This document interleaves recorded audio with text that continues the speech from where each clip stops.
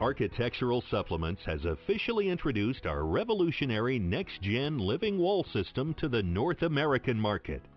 Originally developed for Europe, the NextGen grid and tray system works equally well with hydroculture or soil plants.